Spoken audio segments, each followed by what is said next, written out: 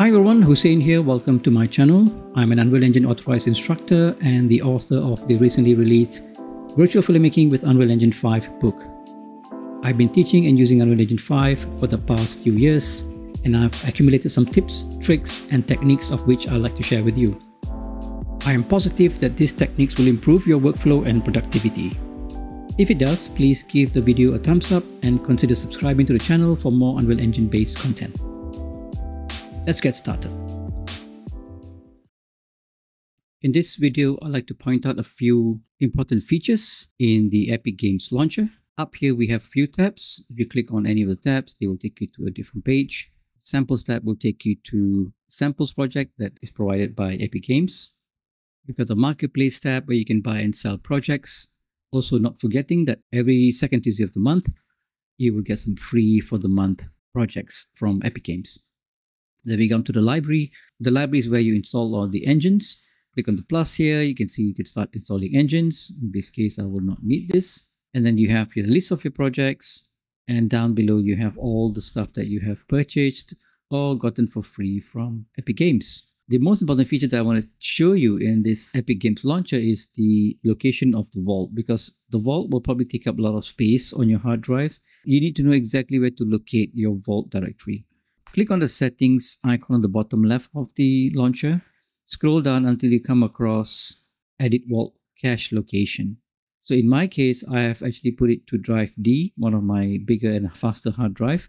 If you do not change this, it will default to the C drive. It will probably take up a lot of space on your hard drive. I suggest you change to another drive and click on apply. The next time you use any of these projects, you'll be sent to the new location. I have a few engine versions installed in my PC. Whenever I've installed a new engine, I will click on this drop down button over here and I'll go to the options. If I scroll down here, I'll make sure that I've disabled the target platforms over here. look through all the engines and you just saved yourself a lot of space on the hard drive.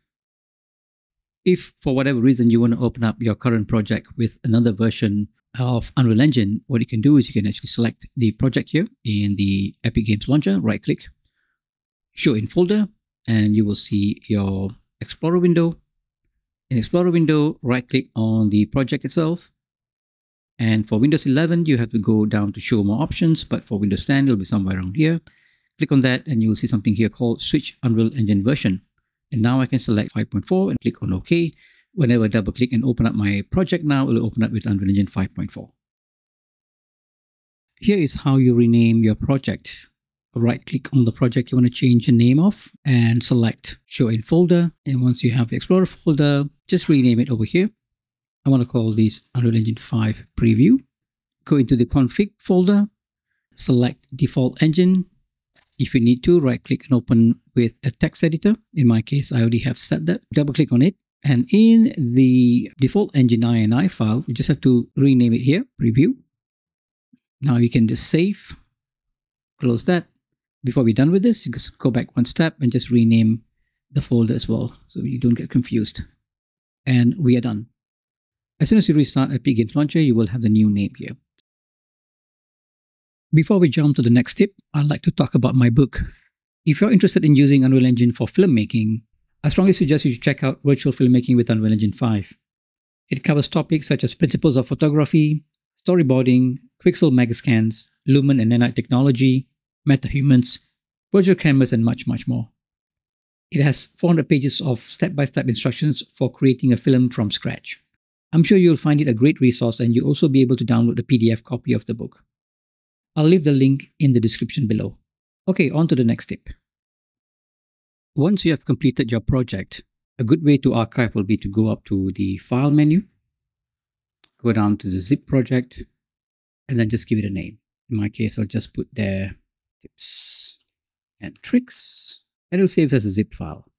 This is a good way because Unreal Engine will remove all the unnecessary files or the folders before it zips it up.